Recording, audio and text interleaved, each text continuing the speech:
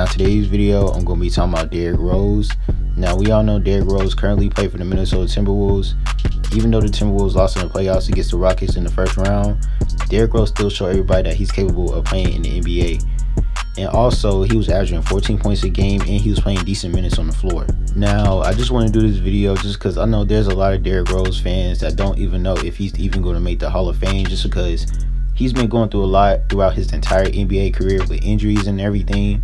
And I just want to talk about Derrick Rose and just give you guys my opinion on what I feel like he has to do to make the Hall of Fame. Okay, but first, in my opinion, Derrick Rose is hands down one of the best point guards that ever played in the NBA just because when you look at all the things he accomplished during the beginning of his career, he won Rookie of the Year in 2008. And also, he was the youngest to win the MVP in 2011. He was 22 years old. He still holds that record till this day. And he was a three time NBA All Star player. So Derrick Rose, he was an outstanding player. We all know that when he was younger. Also, I feel like the Chicago Bulls should retire Derrick Rose jersey just because he has done a lot for that team and he set records for himself on that team. And it's just like, just think about it. Okay, when you think about Chicago Bulls, of course, everybody thinking of Michael Jordan and everything.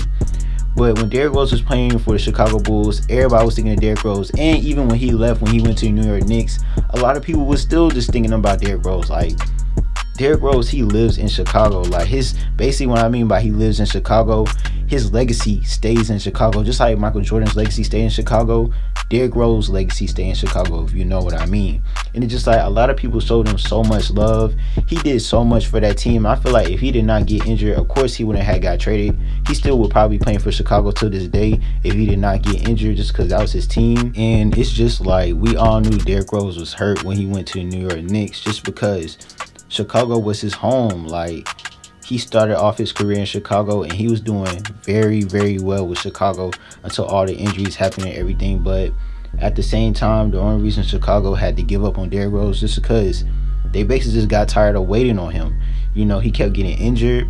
I don't know if he tore his ACL about two or three times. You know, he kept getting injured.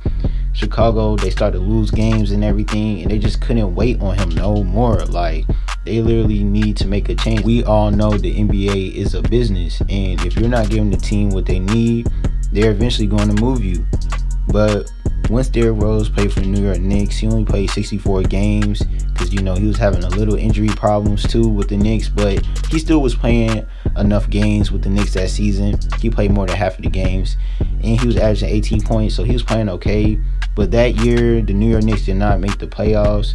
Then after that year, he went to the Cleveland Cavaliers. He signed a one-year contract with them, and he only played 16 games with the Cleveland Cavaliers because he got injured again during the beginning of the season. He was only averaging nine points, so Derrick Rose was still getting injured, and it was holding him back like always. And as you can see, once he got to the Timberwolves at the end of the season, he got injured again. He was out for at least like two games, so he was still getting injured, but ever since then, he has not got injured. He played good in the playoffs. He didn't have no injuries or anything. But this is the thing, okay? So Derrick Rose career stats: he was averaging 18 points a game, five assists, and shooting 45 field goal percentage. Now, just looking at his career stats, in my opinion, I feel like that's a Hall of Famer stats.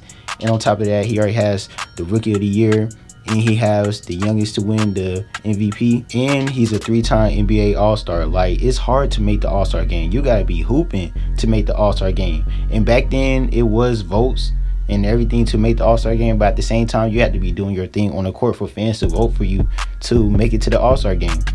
So just looking at the things he already accomplished in his career, I feel like he's already Hall of Fame certified, but at the same time, that's not guaranteed at all. It really is not guaranteed just because he's been going through a lot of injuries throughout his career and he missed a lot of games.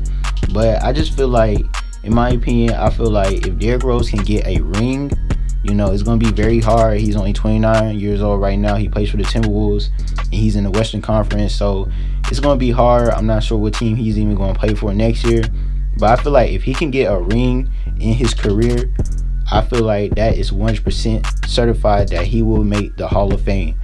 But at the end of the day, we don't know just because right now the situation he's in, we just don't know where his NBA career is going to lead him to in the future. So we just gotta wait and see what Derrick Rose is gonna do next year and see if he signs with the Timberwolves once again or he might go to a different team. But uh, thank you guys for watching. Please make sure you like and subscribe. Make sure you press that notification button. TK Gang, we out.